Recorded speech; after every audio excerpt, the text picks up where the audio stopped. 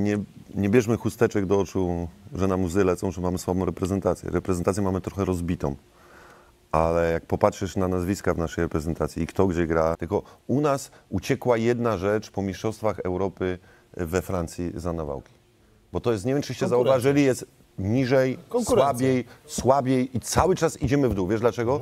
Bo po tym sukcesie, jak można to nazwać, doszliśmy do ćwierćfinału, my pomyśleliśmy, że wszyscy w Europie już teraz będą, jak my wyjdziemy jako reprezentant Polski, to my już nic nie będziemy musieli robić. Bo wszyscy się położą, będziemy strzelać, bo tak, jest Lewandowski, jest na zmianę Milik, bo był Piątek, bo był Grosicki, Błaszczykowski, Piszczek.